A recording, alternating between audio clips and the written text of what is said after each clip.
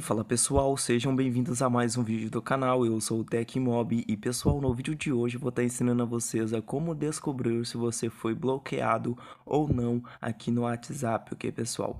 Então, é, existem aqui alguns, algumas características que você, é, possibilita você a descobrir se você foi bloqueado ou não aqui no WhatsApp, ok?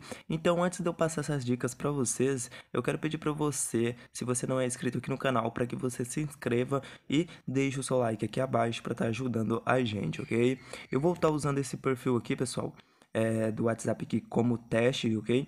Como vocês podem ver aqui, ó, a primeira característica, pessoal, que você pode ver é se a foto de perfil da pessoa mostrava para você e agora a foto de perfil sumiu, ok? Então, é, possa ser que a pessoa também esteja é, removido a foto de perfil. Então, o que, que você vai fazer? Você vai pegar um outro telefone, vai colocar o número do WhatsApp dessa pessoa e você vai lá adicionar no, no WhatsApp e vai verificar se tem a foto de perfil. Se no da pessoa tiver a foto de perfil e no seu não, é, é um grande.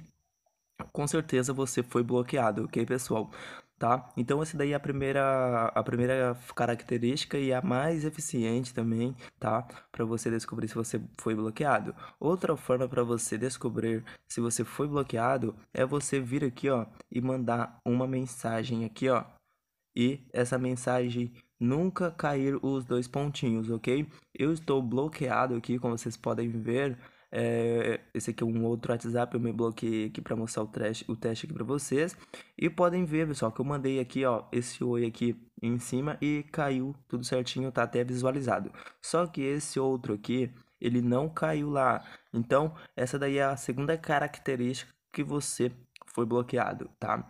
Outro, outra forma é você é, quando você for visualizar os status da pessoa e esses status não estiver mostrando para você, ok? Se você viu os status dela aí diariamente, agora você não tá vendo mais, é outra forma, é a terceira forma de você também tá descobrindo se você foi bloqueado ou não, ok, pessoal? Então é isso, é, três características é, para você saber se você foi bloqueado aqui no WhatsApp ou não, tá? É, eu quero pedir para você, se eu ajudei você de alguma forma, para que você deixe o seu like, inscreva-se no canal e ative as notificações.